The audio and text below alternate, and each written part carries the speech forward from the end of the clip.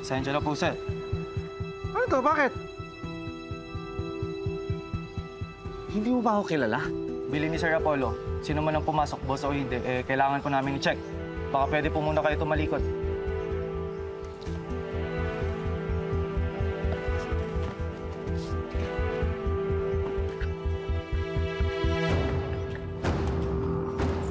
Clear na po kayo.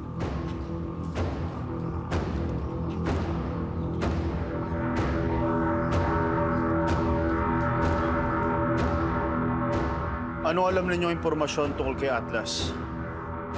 Ayon sa aking pagsisiyasat, nalaman ko na mahilig siya sa pula. Mahilig siya sa nursery rhymes. At mahilig siya sa patong-patong na damit kahit na napakainit dito sa Pilipinas. Kailangan natin ng impormasyon ng mga kapakinabangan.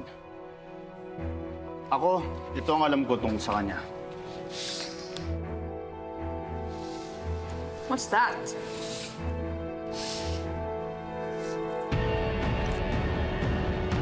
A ring? Yan ang singsing na suot ni Atlas. Kaparehas ng singsing ni Brother Joseph.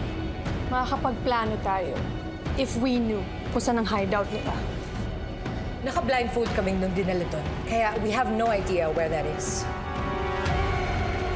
Pero hindi ba magre-remit ka pa rin ng pera sa kanya? Sa katapusan ng buwan? Paano siya magre-remit? Eh, na-double cross nga siya eh. Si baby cakes ko na isahan, na dengoy, na dekwat. Don't rub it in. I'm gonna kill you.